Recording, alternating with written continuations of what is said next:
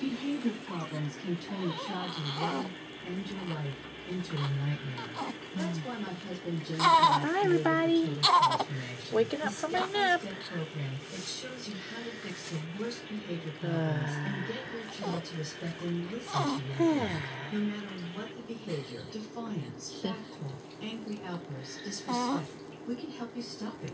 Now you can get the total transformation for Uh-oh. free. All you need to do is get the program and let us know how it works for you. You can keep it forever for free. Limited number of free programs available. Call now.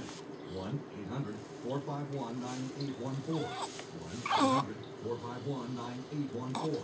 That's 1 800 451 9814. 1 800 I was about to stop. 9814.